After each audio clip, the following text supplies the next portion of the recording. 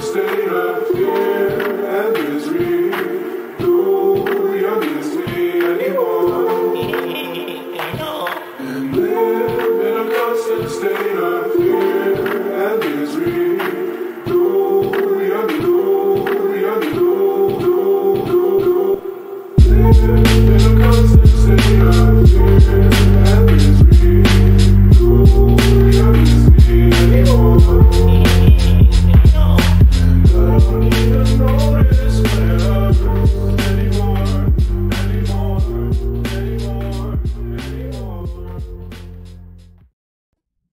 What is up, punks? It's Shinobi, and we are bringing you Block Digest episode 266 at block height 680,594 on Sunday, April 25th.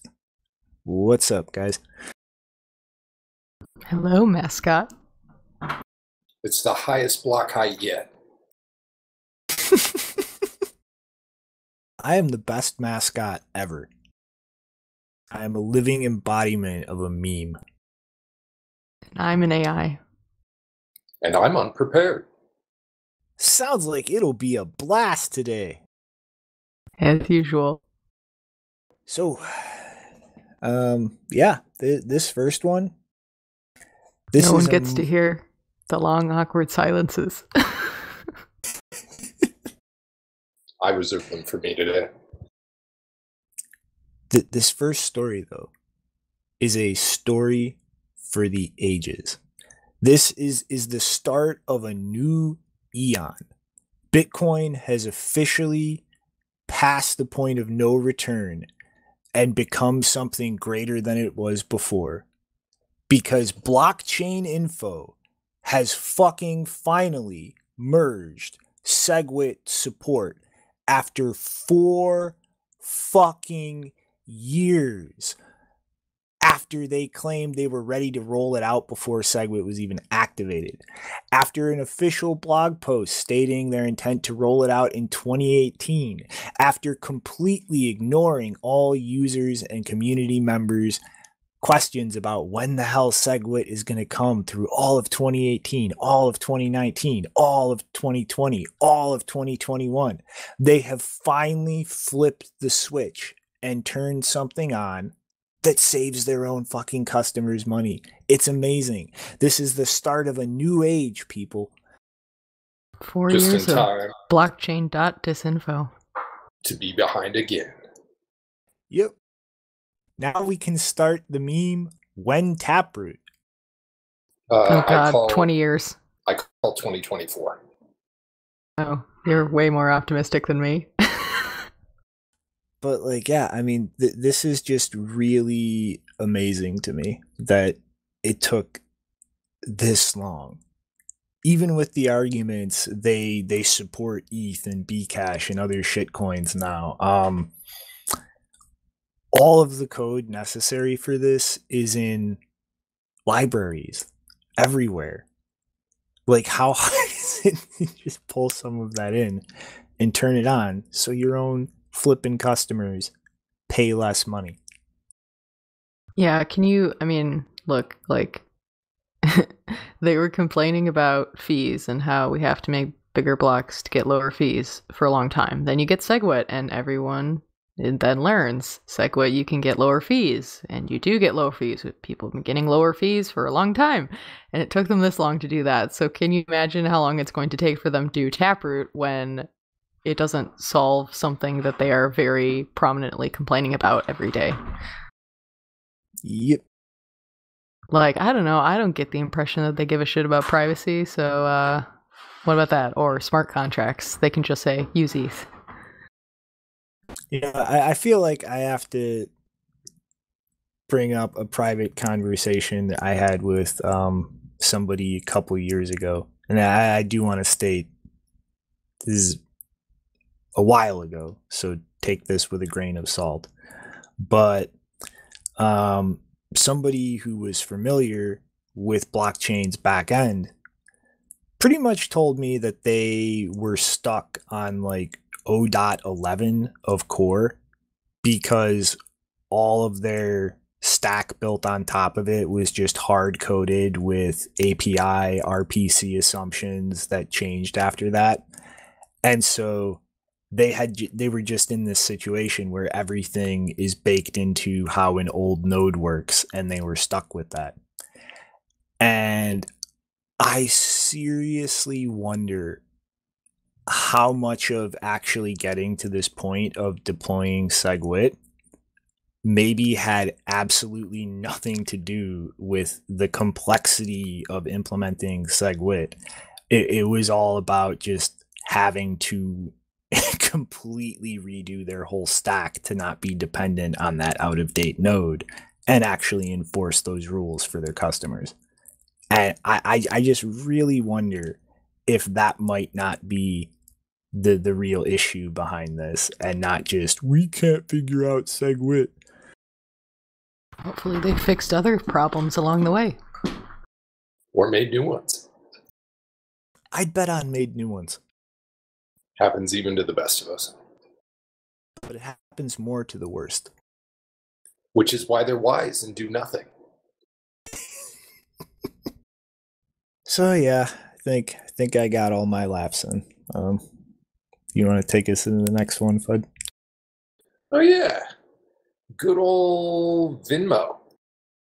PayPal's estranged cousin or not so or what have you has decided to launch crypto in parallel with PayPal.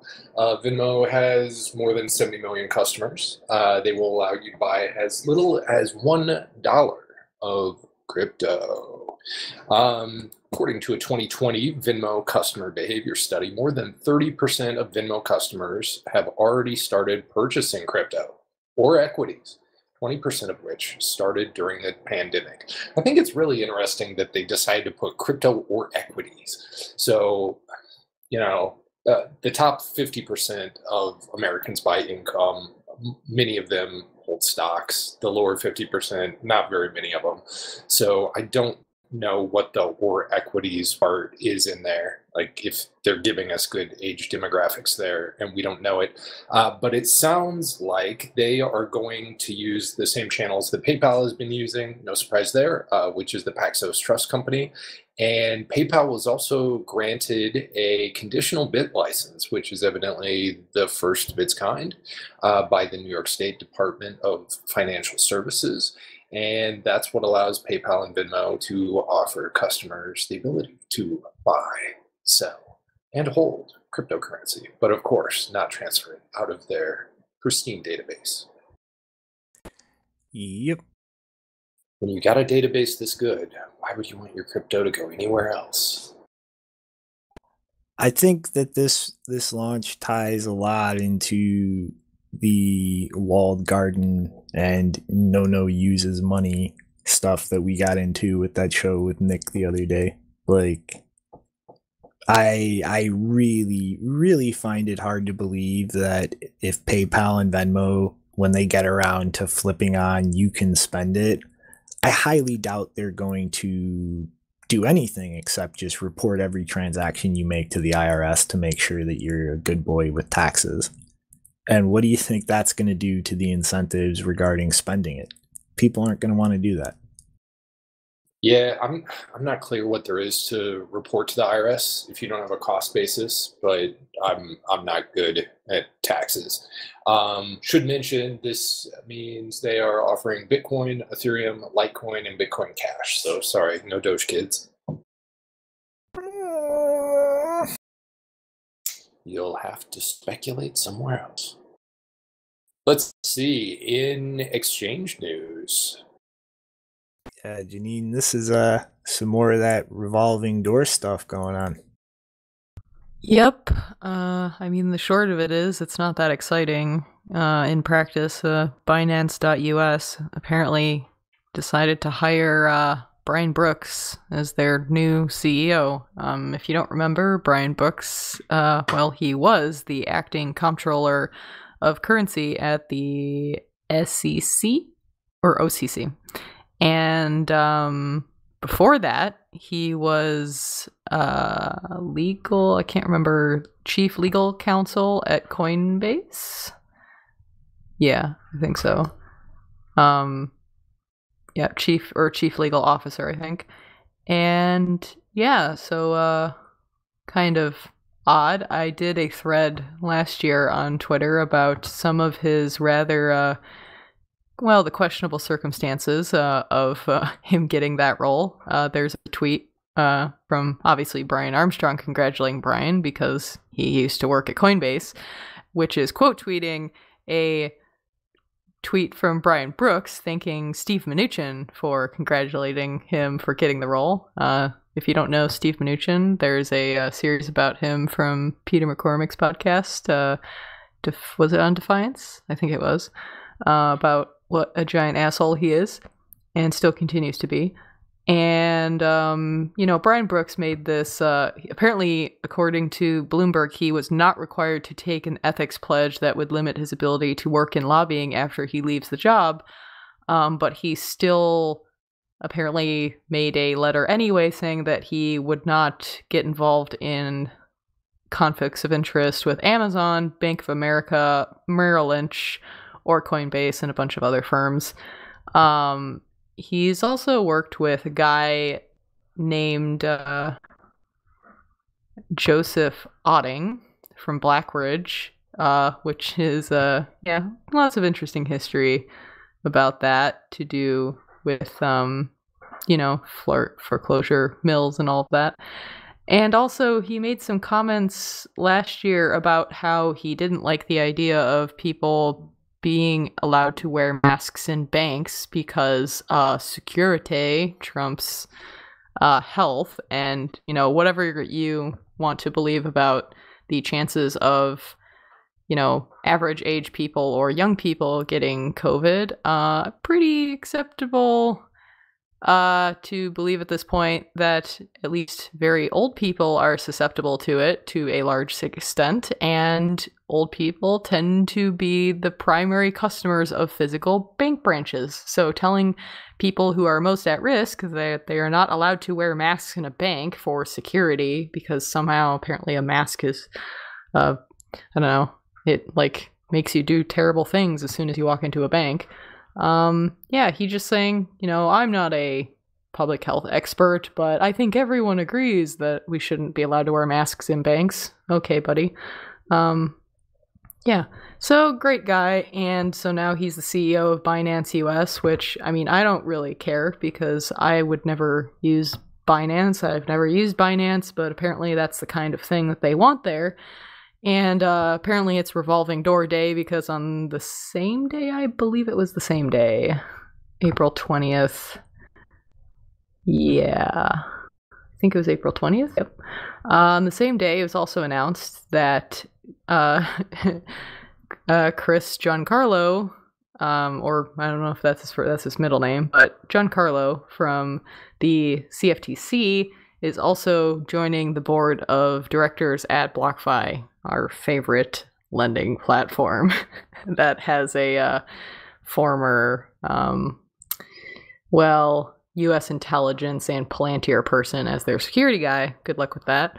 Um, yeah, so it's just, you know, revolving door day. And I also, you know, briefly just thought, oh, what are the chances that he also has some revolving door uh, history in him beyond just, you know, going from the CFTC to a lending a crypto lending platform, it turns out that uh, actually between um, him serving for the U.S. government and this BlockFi appointment, he is is or was the chairman of the board for Common Securitization Solutions LLC, a joint venture between Fannie Mae and Freddie Mac. Isn't that beautiful? Nice. Yeah. Well, it's definitely interesting to see the crypto community of companies come along and start vacuuming up uh, highly appointed U.S. you know finance officials. They are acting more and more like banks all the time. Uh, we've got FTX with 40 years worth of naming rights. Uh, it's fair to say these guys are paying to stick around. So it'll be interesting to see what comes of it. I'm I'm sure that it was purely a, a skills based evaluation. No doubt. Really, what's interesting to me is Brooks going to the US subsidiary of a foreign company in, instead of hunting around for positions at an American one. The American ones might have all the CEO roles filled.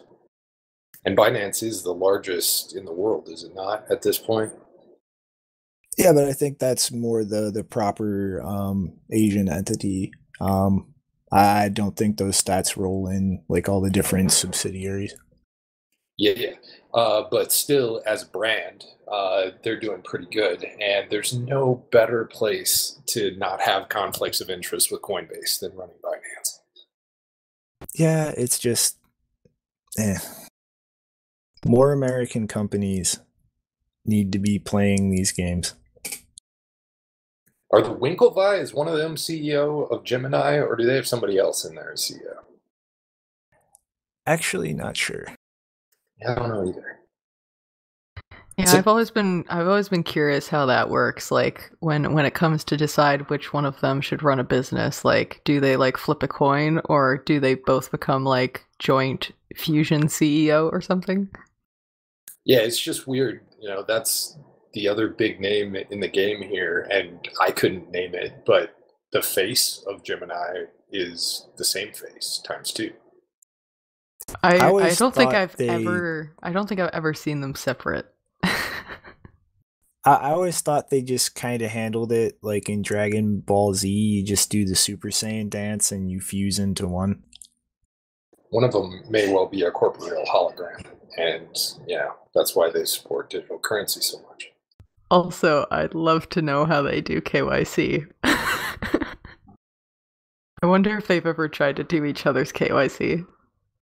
Yeah, it was I probably fun in all day. college, trading dates. All right, though. The mysteries of the Winklevi twins aside, um, think Wyoming just finalized something that had been hanging around for a while that looks really interesting. Yeah, this this one's fun, and I hadn't heard about it ahead of time. But Caitlin Long put out a tweet thread on this.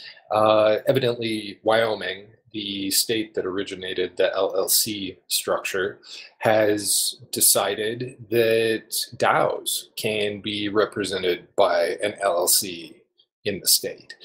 Uh, so, evidently, there is a new classification of LLC that is going to go live in Wyoming that uh, represents a DAO or all participants of a DAO under a LLC blanket structure. Uh, so that if a DAO is ever deemed by a court to be a general partnership, uh, then it falls under this LLC structure and uh, has all the limited liability protections that an LLC gets. Um, evidently, it's a special kind. So, if the Secretary of State decides that uh, the DAO has committed fraud or is engaged in illegal activities, he can pull the special, he or she can pull the special liability protection from them, and then you know it's all downhill from there. Uh, but this is just one more case where Wyoming, uh, with its what five or six hundred thousand people, is trying to drum up some more business to the state. Yeah. This, I think, is huge because I'm sure half the people who hear the word DAO are thinking some idiotic smart contract thing on Ethereum.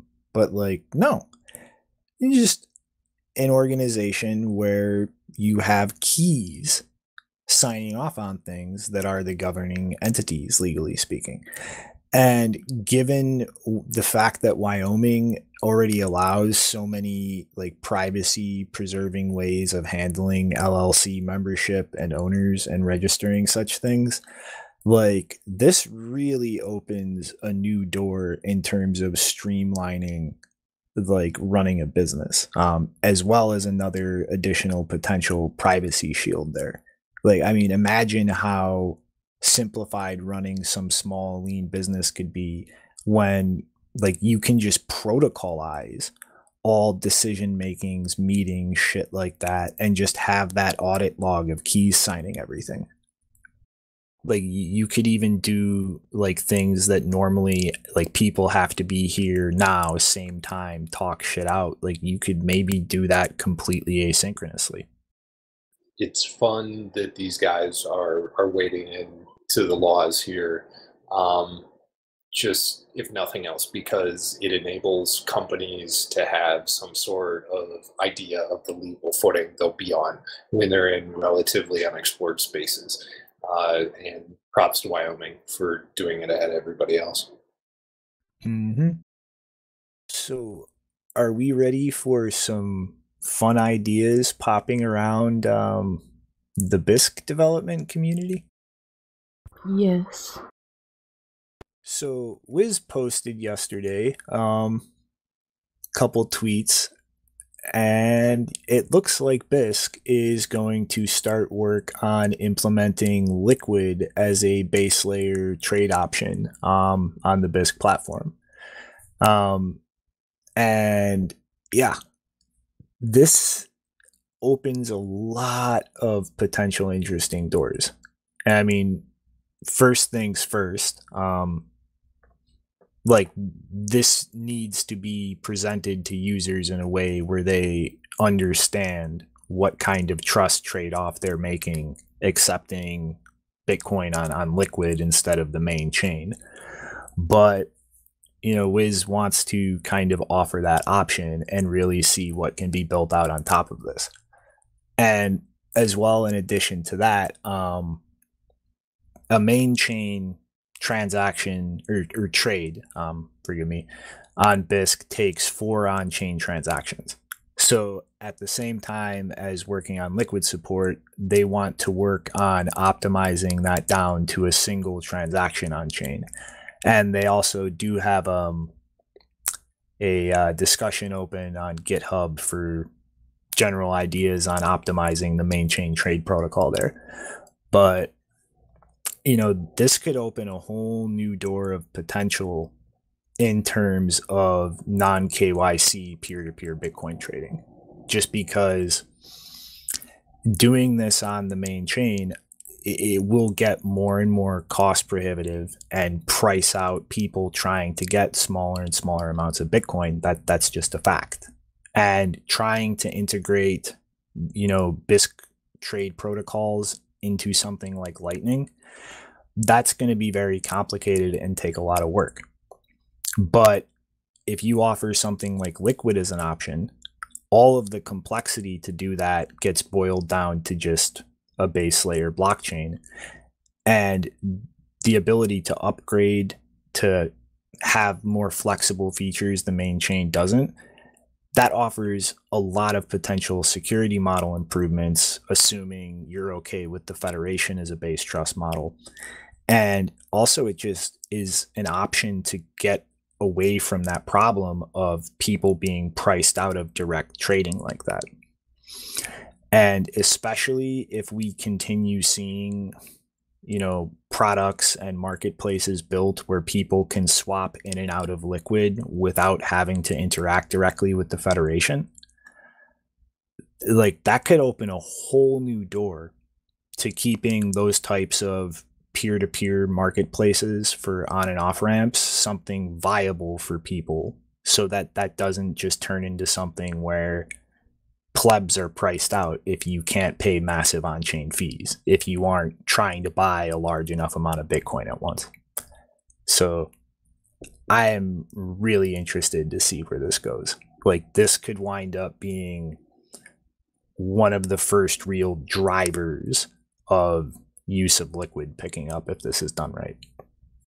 Yeah, that's the other nice thing about them going there is it's going to be a snowball effect. Uh, the more people who start there, in this case, Bisq, which is what maybe the the most well known uh, non KYC or peer to peer way to buy Bitcoin. Uh, just that going to Liquid is going to pull other services and general interest to Liquid. Yep and you know once like once that ability to atomically cross chains really starts maturing i mean like that is the type of flexibility you want like maybe you know you can't afford to go buy a thousand dollars of Bitcoin on chain because fees are like two hundred dollars, but you can do it on Liquid. And if this whole ecosystem matures enough, okay, you don't want to be on Liquid anymore, you can debate the costs of opening your own channel uh, on the main chain and just swapping that out. Or you could, you know, if things play out the way I hope they will to some degree, maybe someone in your friend group or your family has a little custodial micro bank on Lightning they'll let you use. And you can pull out of the Liquid Federation and trust them instead. Like it, it just it, it stops the on and off ramps from being strangled into the Coinbases and the Krakens and the Cash Apps. It's evolving. Ha ha ha ha ha ha ha.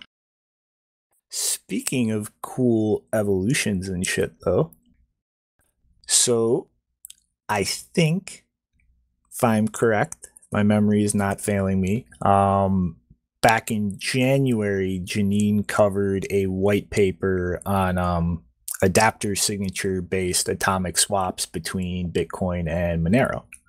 Mm-hmm.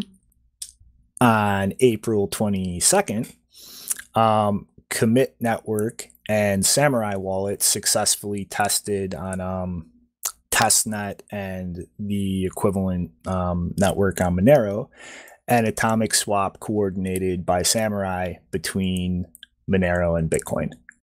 And they have a very minimal um, viable product of the automated swap backend to accomplish this, which is pretty much its own daemon um, that also has a client, um, a CLI client for kind of the the taker in this model to interact with the automated backend.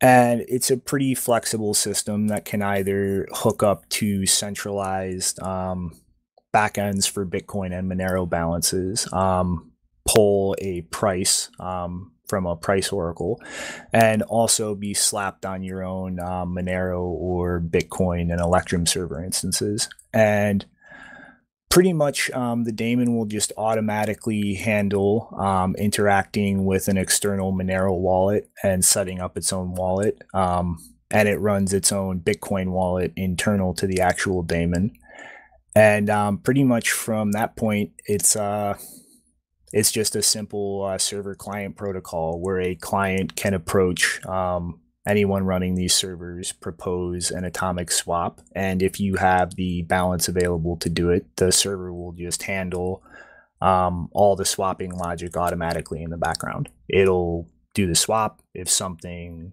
goes wrong it will automatically handle the refund. And if anybody acts malicious to a point in the structure, there's also the second time lock that allows the um, the taker client to be penalized. And um, yeah, so my hunch is that probably before the end of the year, um, we're going to see this implemented as a, a mainline supported feature in Samourai, um, if my hunch is correct. Yeah, and I haven't looked at this, but I'm assuming that they're for the Bitcoin side, they're still using ECDSA, right? Because uh, originally, uh, when I mentioned this back in January, they were talking about um, that they were going to actually focus the final design around Schnorr Schnorr signatures instead, because uh, according to them, a little birdie said that you know Schnorr would be implemented soon, so that then they wouldn't waste time building it out for ECDSA when they could do it for Schnorr instead. So, but I'm assuming for this test they were doing ECDSA still. Um, I'm actually not sure. I only went through the docs and didn't really have a chance to go through any of the code, but it could be um Schnorr based. I'm not sure. I haven't really been paying attention to what is or is not turned on on testnet. Well, I know that because like it depends which one. Because like Signet now I think does Schnorr, but I don't know if the main testnet does that yet. Mm, you know, odds are probably ECDSA, but I'm not hundred percent sure. But you know, it's uh, yeah.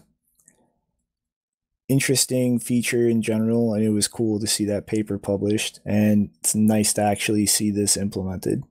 But I do have to say that if I am right and Samourai integrates this as a mainline feature and it winds up seeing a lot of use, um, you know, this could wind up being a big stressor for Monero in terms of seeing how far it can actually scale under wide use. Yeah. End of the day, though, net good thing that somebody's actually building this out so that people who want to switch between these assets can actually do so, given that I, I can't even think of an exchange off the top of my head that still has Monero listed because they all freaked out. Privacy coin, delist. Mm-hmm. Well, speaking of things getting listed, the old uh, Coinbase Pro is going to list tether pairs, as in USDT, on ERC20 Ethereum. Uh, evidently, last Thursday, they started taking tether deposits, and tomorrow, sometime, they are going to go live with limit orders, I believe, for BTC, ETH, uh, Euro, Pound, and USD, and then USDC pairs for tether. Uh, very interesting that, uh, you know, Tether settles with the guys in New York and gives them a couple million bucks. And what do you know? A couple months later, all of a sudden they're on Coinbase. Pretty good. Yep. That is exactly what I was gonna say. Like the instant I saw this, I just started laughing my ass off. Cause if Coinbase is is gonna gonna list something like this, um, that's pretty much the strongest signal you can get that um, the general worry of the government fucking with something does not exist right now. Um, and the timing after the settlement is just so hilarious. Yeah, Tether, not just for Chinese folks anymore. And it also just makes me wonder, like, what their current attitude is about the partnership with Circle for the USDC because like them caving and adding tether support given their involvement there and the whole plan was well things like tether just aren't fucking reliable we need a professional stable coin and that tether settles fucking list tether Yeah, a week ago I wouldn't have known where to get Tether, but evidently tomorrow I got a hookup. Based and tethered. All right, one more on the acceptance note. Uh, WeWork, yet another no profit showing unicorn, has said that they will accept Bitcoin, Ethereum, USDC, and Paxos, and several other digital currencies uh, as payment for their services through BitPay. Uh, so these guys are probably hurting about as bad as any um, commercial real estate vendor right about now has said that they're going to hold this on their balance sheet. Uh, interestingly enough, they're accepting it through BitPay, which is not quite the we're going to hold it on our balance sheet kind of signaling.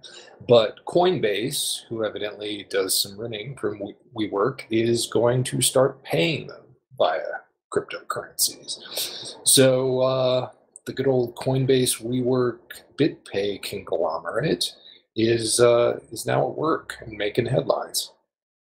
So, not the biggest fan of him, but it would be the funniest shit on earth if Michael Saylor just made like a parody version of his own like why you should put Bitcoin on your balance sheet videos and shit. Except it's it's just the business plan for a unicorn. Do you not have a workable business model? Do you not have any kind of sustainable income stream? You can buy Bitcoin. I, I imagine those with Ethereum war chests are overjoyed. I, I have no idea. But yes, I, I also support that branding. Get out there, unicorns, especially those of you that have yet to turn a profit. It, it- it'll just be amazing to see those com- like please universe god whatever is out there just give me the synchronicity and the timing so all of those kinds of companies wind up being the ones who put it on their balance sheet right at the top. Just please god give me that and i will do whatever you want of me Well, that's the thing about accepting it as payment. If you ever accept it, then you're not really in control of when it hits the balance sheet. But that's how FOMO works, right? Uh, and that's why 90% of traders lose money. Is uh, you know you hear it, you hear it, you hear it. Finally, you decide to follow the herd, and that's the day the herd is headed over to the slaughterhouse. Typically. Yep. Like I just saw a tweet floating around earlier from our Dogecoin. Um, some brilliant day trader decided at 40 cents, um, it would be a good idea to take 90% of the joint savings account he had with his wife and put it all into Dogecoin. And then what what what happened right after that? Oh, the alts are getting stupid. I'm sorry. This is when Bitcoin slaps its dick on the table and crashes everything and you're wrecked. Well, it's probably better than having put it all up your nose. So you got that. And you're still over 50% on that trade, guy. You know, Doge's worth a quarter, as I see here. So uh, good work. You're only down well north of 50%. I'm sure your wife won't kill you, kill you. Just try. Hope you like sleeping on the couch. Alrighty. So, are we ready for some fun research from ARK Invest and Square? Fire away, big guns.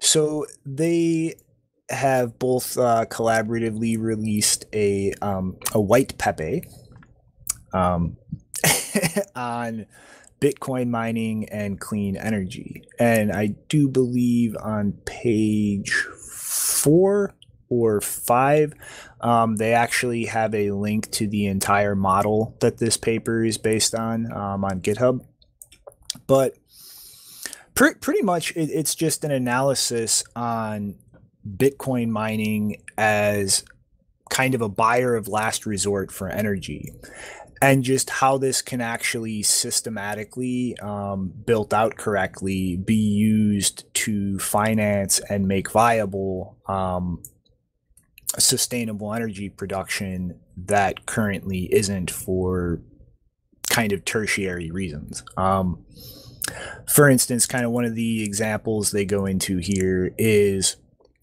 there is over um, 200 gigawatts of delayed solar and wind um, capacity potential.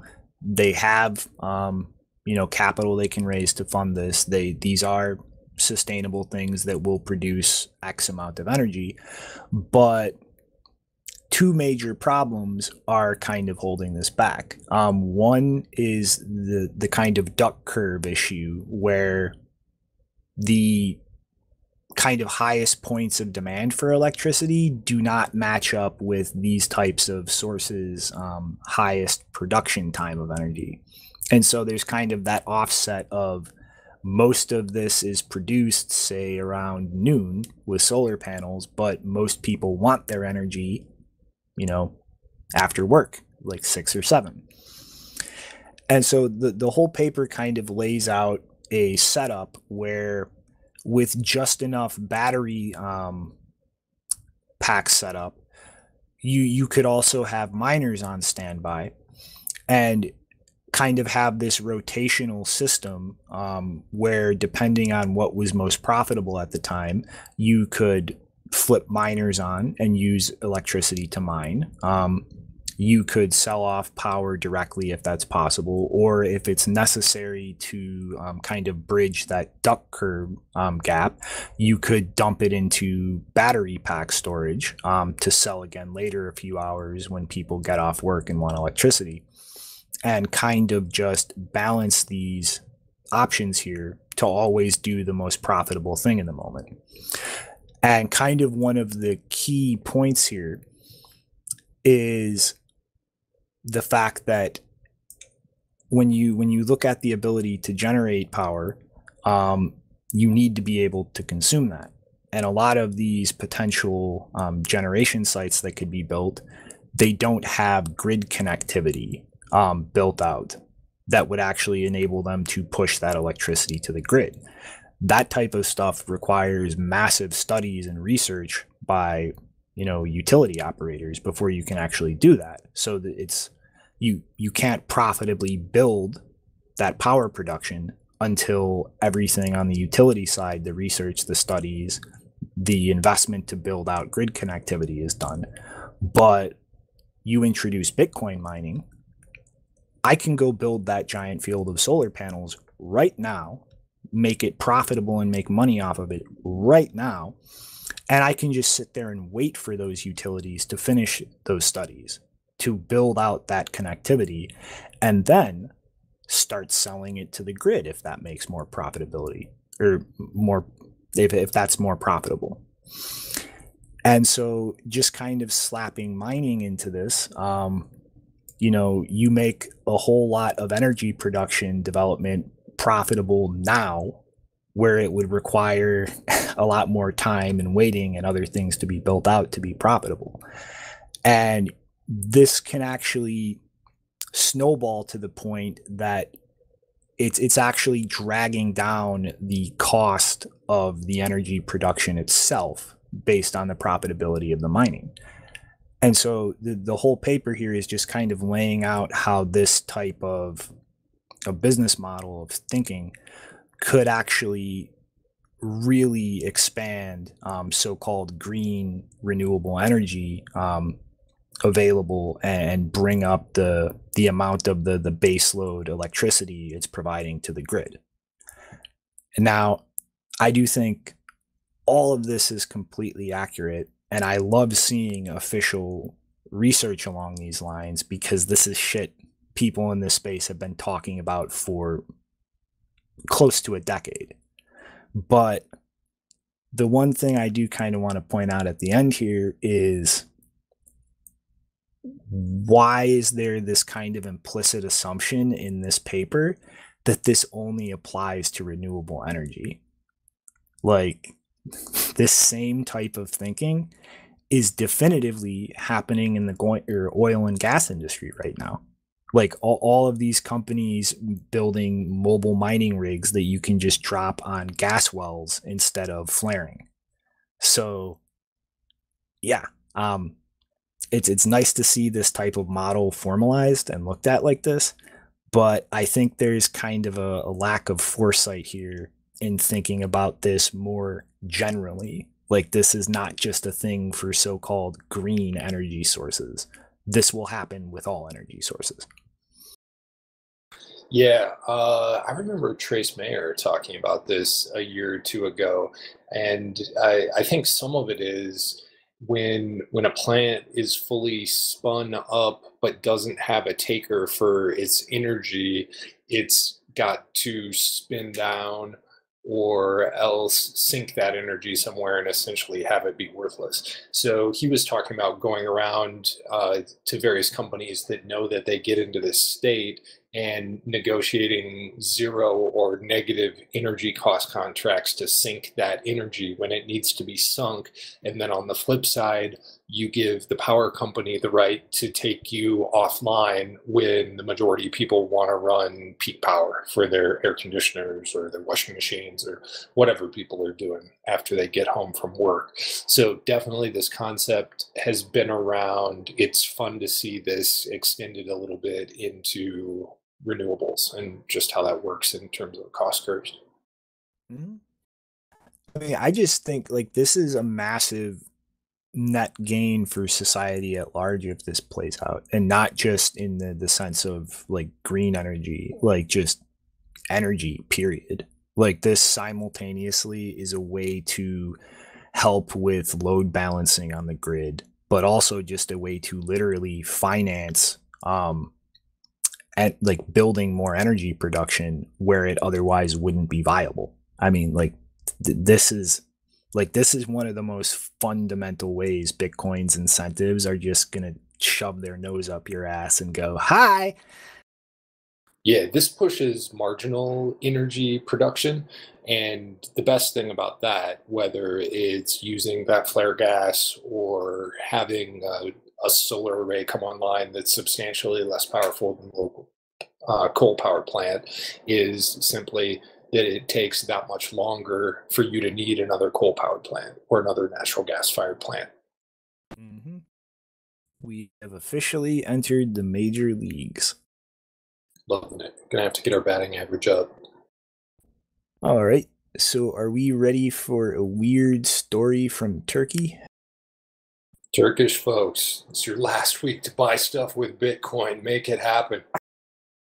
So, um, the CEO of a Turkish crypto exchange, Thodex, um, has fled the country. And, um, you know, that this article on Bitcoin Magazine looks like some of the quotes from him are just completely broken English. But, um, yeah, th- this exchange only 1.7% of its volume is Bitcoin. Um, Dogecoin was 52% of its total trading volume.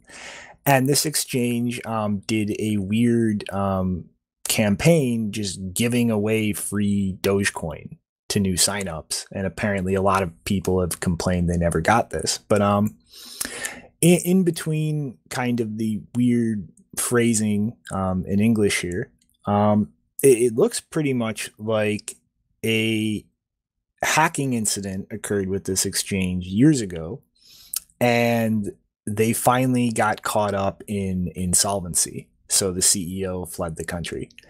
And his statements to Bitcoin Magazine are pretty much um, he he left because he either would have killed himself or gone to jail but he is now dedicated to repaying all the customers whose withdrawals they can't honor. And only after doing that will he return to his country to face justice. I see. Does uh is he aware that um that he, you know, he could have also left Turkey and not taken people's money with him? Probably just in his pocket. Didn't even know it was there. like I'm I'm sorry, I missed the part. Like sure, he's he's either going to kill himself or be arrested and he thinks that by taking people's money with him that he will solve the second part. I mean, it's just to me, it looks this simple. They got hacked years ago, probably never said anything, and now finally got caught up in the fact that they're insolvent, and so he ran away. that or just outright exit scam.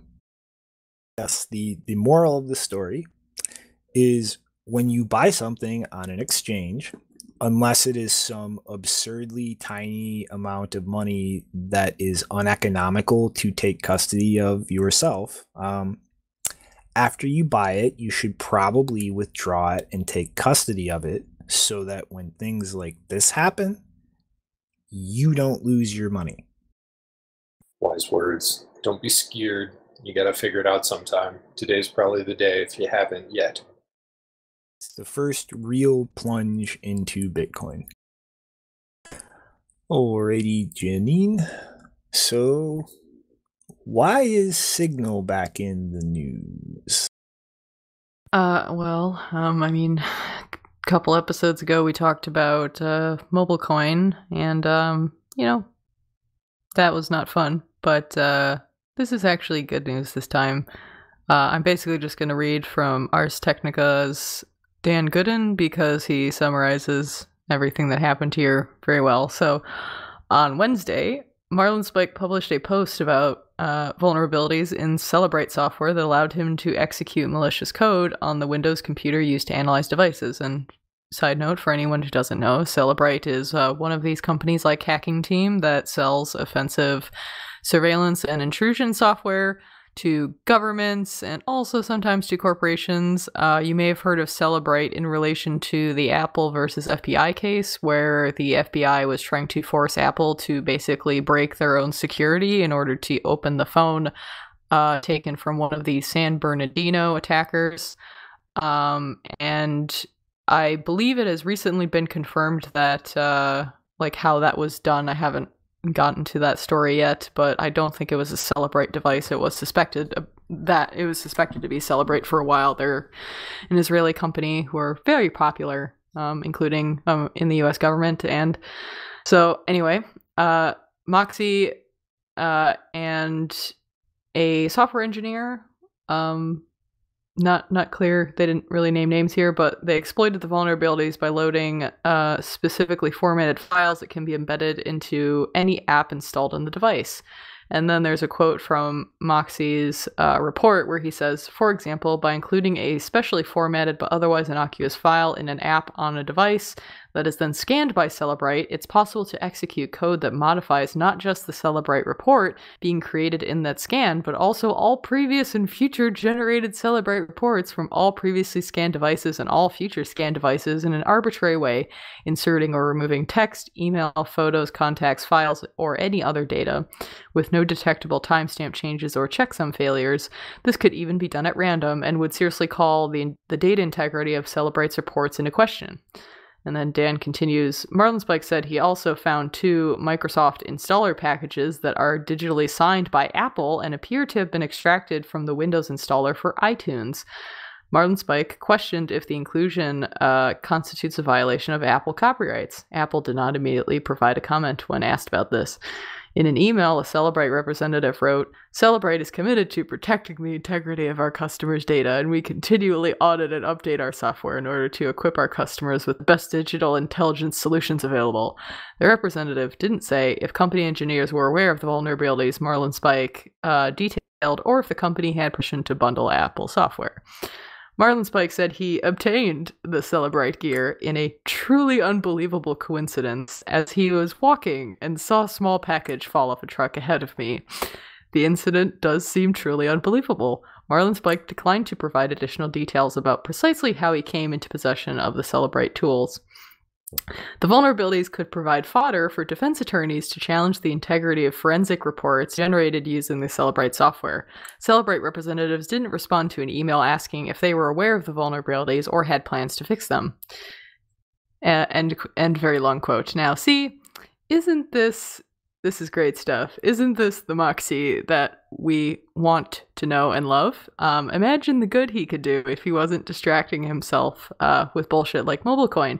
Also related to that, um, I can't imagine that U.S. law enforcement are going to be very happy about this and him uh, right now, uh, given that they are Cellebrite customers. Um, how does that bode for the uh, regulatory approval of MobileCoin? I don't know, and I don't care. But this is uh, this this is a very interesting takedown. It is. It sounds like essentially he got a full own on whatever that analysis system is, which is great to document and have out there in public because this is the way people get prosecuted, as you mentioned.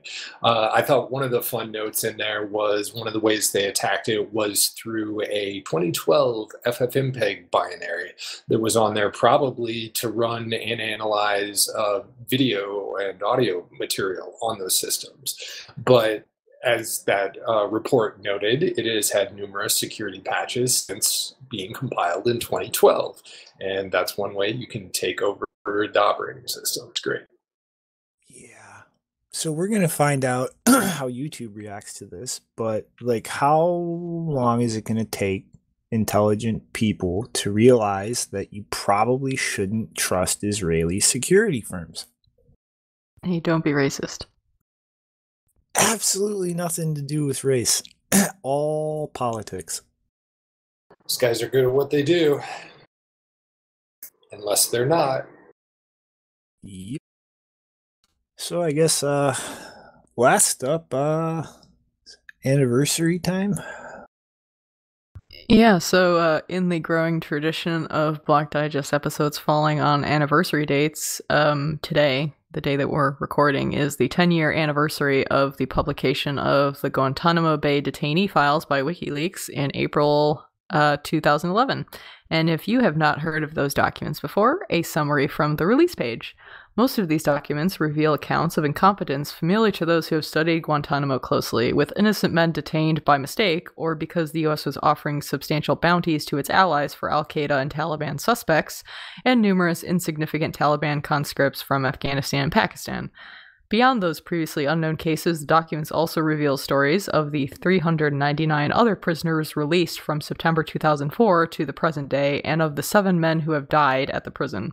The memos are signed by the commander of Guantanamo at the time and describe whether the prisoners in question are regarded as low, medium, or high risk, although they were obviously not conclusive in and of themselves, as final decisions about the deposition of prisoners uh, were taken at a higher level, they represent not only the opinions of JTF Gitmo, but also the Criminal Investigation Task Force created by the Department of Defense to conduct interrogations in the War on Terror, and the behavioral science teams consisting of psychologists who had a major say in exploitation of prisoners in interrogation.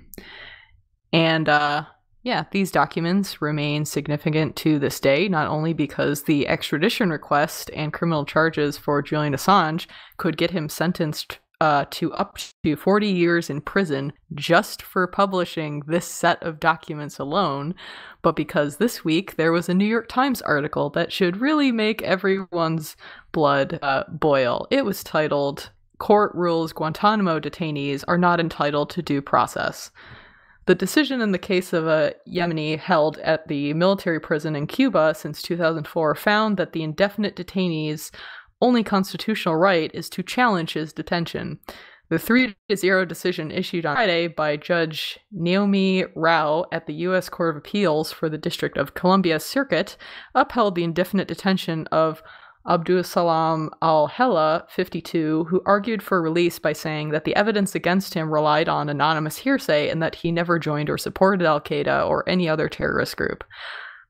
Uh, the due process clause may not be invoked by alien without property or presence in the sovereign territory of the United States, Judge Rao wrote, a position also taken by Judge A. Raymond Randolph. In 2008, the Supreme Court decided uh, in another case, v. Bush, that Guantanamo detainees can challenge the lawfulness of their detention in federal court by filing writs of habeas corpus. The, Supreme, the Supreme Court has not taken on Guantanamo case since, and in the intervening years, the lower courts have evaluated the detention of detainees individually. Mr. Fissel, a law professor at the Hofstra Law School who has worked on Guantanamo's detainee appeals at the War Court, said the decision harks back to the era before habeas corpus, when the Bush administration sought to carve out this weird island, their weird zone, as a legal terra incognita, essentially a constitutional no go zone. What the fuck? Assholes. Burn it all down. Um, speaking of Bush, there is a uh, one more thing. Great article in New York Magazine this week as well, titled "George H. Uh, George W. Bush can't paint his way out of hell." the chilling spectacle of watching a political class redeem a criminal again. And there's a paragraph where the author uh, Sarah Jones writes. Someone might interject here and, in true Sorkin-esque form, say the presidency requires difficult decisions from its occupants. The presidency can induce a moral recklessness in people who consider themselves politically wise. In the eyes of some, the office is so meaningful that it mandates the absolution of all who occupy it. Maybe these people really are wise, in the same way that Bush is really a compassionate conservative. To be astute politically requires no great ethical commitments of a person. Impunity is the foundational value of Capitol Hill. Liberals believe it's a tit for tat relationship. I'll forgive your guy if you forgive mine. But as is generally the case, they are outclassed by their opposition. Bipartisanship is asymmetric. The right will recall everything it despised about Barack Obama until the sun dies. Liberals believe so strongly in the political institutions that empowered Bush and Trump, they can do nothing but move on, will forgive those same institutions if anything, will destroy themselves in their inability to admit the truth. Mhm. So evidently, you can be a black side without being a black side. Congrats. See, And the fucked thing is that prior to, I think, the late 1800s, when our immigration policy shifted, um, it, it had been standing precedent that non citizens have First Amendment, Fourth Amendment, and Fifth Amendment rights under the Constitution and have Fifth and Sixth Amendment procedural rights if charged with a crime. So prior to the little oopsies escape hatch there, um, it was very explicitly established that it doesn't matter whether you are a citizen of this country or not, you have those rights if you are here. Like those are not reserved to just citizens.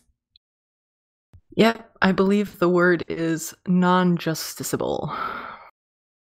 As in, literally, you have been put into a box where it is not possible to bring any kind of justice process to your case. This is actually a term that has been used against also American citizens, by the way. Like, this is not only relevant, like, anyone who thinks, oh, well, I'm not a Guantanamo detainee or I'm not a person of interest, blah, blah, blah. No, this can apply across the board. like, if you think this is just going to stay with terrorism related cases, oh boy. Also, being a US citizen also doesn't protect you because this shit has literally been used against a US citizen who has been accused of similar associations. And he was told, literally, he cannot be told why he is on a kill list under Obama. He could not be told why he had been put on a kill list. He's an American citizen. Yep. This is just one of those ways that they completely step around the Constitution. and until they uh, repeal or let the Patriot Act expire, um, yeah, they just have to say that magic word terrorist, and you get thrown in that same bucket.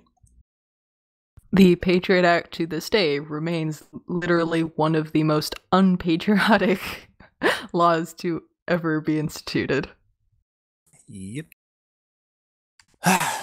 well, unless you guys have any more on this one, shall we call it final thoughts? I believe you have a giant final thought, right? Well, actually, I have kind of a more serious one. Uh, first, uh, yeah. So Dan Kaminsky died the other day, and that fucking sucks. like he he was not only fucking brilliant, but I cannot think of a single other person with that kind of attention and stature who would just spend so much time engaging with random people like me on the internet and spend his time doing that in complete good faith. Like, you know, the world lost a fucking brilliant, good dude. Also, for history's sake, worth reminding people that he was the one who put the uh, ASCII Bernanke. Did he also put ASCII Bern? No, he he put the one of Len Sassaman into the Bitcoin blockchain. hmm He he was one of the first competent people who showed up and said Bitcoin is broken and I'm gonna break it and failed, and then just like he didn't get pissy or butthurt. He went, okay, I couldn't break it, and then changed a lot of his mind on it. Yeah, and he, uh, I mean, as far as I'm aware, you know, it's common in the infosec industry for people to hate Julian Assange and WikiLeaks. So obviously, myself and others are a minority there. Um, but, and I believe he was not, uh, I believe he was part of that in, not being being the majority opinion. But I do appreciate the fact that when Assange got arrested, he was one of the very few people to uh, actually stand up to all of these other assholes in InfoSec who were laughing again about, oh, crazy guy being dragged out of an embassy. Isn't it so funny? Where's his cat? Um, he was one of the few people to actually say, whatever your position is on Julian Assange, the pointing and laughing I've seen this uh, seen since his apprehension has been inappropriate, embarrassing, and undignified. Um, so yeah, like I feel like I, I mean, I don't I don't know him very well, and I don't know if that's the kind of graceful attitude that he took to everyone. But um, I appreciate the fact that he. I mean, as far as I know, that was not a popular stance for him to take, and so I feel like more people should engage in that uh, and you know remember the values that they espouse to hold and not shit on people because they find them personally unpleasant. Mm-hmm. All right, Fud Janine. Guys, got anything else? I'm thoughtless. All right. Well, Well, wait, one more thing. Another thing he did, uh, he- unfortunately, uh, this JW saga also involved him, and he was kind of passively supporting him for a while, but he came around eventually, and uh, I believe he had some uh, somewhat supportive things to say about Coldcard, or at least was surprised that it, uh, I believe he called it an ultra paranoid design or something like that. And uh, I don't know, a final thought I recommend everyone to look at. Um, to look at Rodolfo's tweet uh, about the Yeti Cold setup ad, where apparently there was, I don't know, there's some kind of video of, I don't even know if it's real, but someone made a video of a woman wearing a Chewbacca mask, and the caption says, My wife lost a bet and had to wear this Chewbacca mask while giving birth. And so Rodolfo said it was a Yeti cold setup ad. Now that's just cruel and unusual. good guy. I I'm pretty sure I the, the thing that makes me think that it was probably set up is because I I mean I, I don't know maybe there are actually Chewbacca masks where any noise you make is like transformed into a Chewbacca noise but like she's like heaving and moaning and stuff and it all sounds like it all sounds like a Wookiee dude. Amazing. Alrighty though. I guess uh we will wrap it up for today, and you are going to get a message that some of you need to hear at the end. Later, punks. Bye. Jeez. 99.999% of the people that own Bitcoin are fucking morons. Retarded, imbeciles. That's just it.